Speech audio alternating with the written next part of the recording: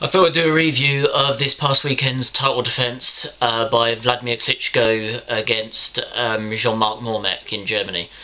Uh, as I expected, it wasn't much of a uh, defence. Jean-Marc Mormeck didn't do anything, quite literally, um, which I expected anyway. Um, I've no idea how he even got a title shot, and I don't know what, what he's doing at heavyweight. He's 40 years old, I think, just about and um, he he hasn't done anything at cruiserweight for about five years, so I don't know what he's doing at heavyweight. But I don't think that should detract from how good Wladimir Klitschko is, though, because I know a lot of people criticise the Klitschko brothers, but um, the truth is they do fight the best fighters available, I have done for about a decade, and um, whether you like them or not, the fact is they have been good um, heavyweight champions of a you know fairly poor era. But plenty of um, heavyweight fighters of the past have fought you know so-called bums or whatever you want to call it. Um, lots of fighters have fought their way um, through some very simple opposition. But of course, they had um, some really great fights to make up for that. Obviously, that's why they're at the um, higher echelons of the heavyweight you know ratings of all time.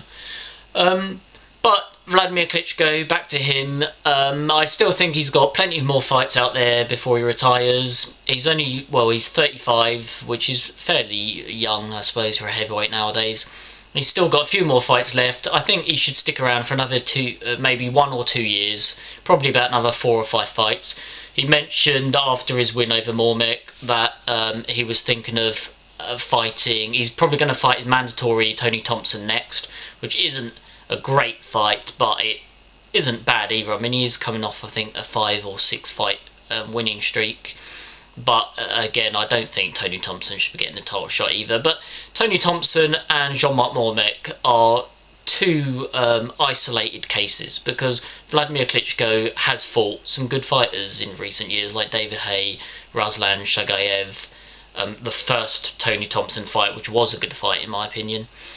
Um, and it, after his win over Mormeck, he mentioned fighting guys like uh, in the future, like Seth Mitchell, David Price, Tyson Fury. In the future, next up would be T Thompson, and he also spoke of fighting Chris Arreola. So this year sounds like he's got planned out, um, and then maybe next year, I think Tyson Fury, um, David Price, and Seth Mitchell probably need another two years before they challenge for a title. So maybe one of those could be his final, you know, retirement fight.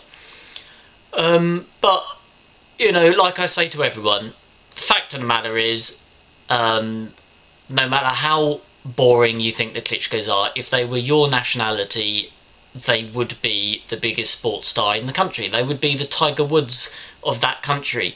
They would be the if they were American, they would be the Tiger Woods of America. Whether Americans want to admit that or not is totally irrelevant because it's a fact. If they were British, they would be bigger than Henry Cooper, bigger than Lennox Lewis, bigger than Frank Bruno, bigger than everyone.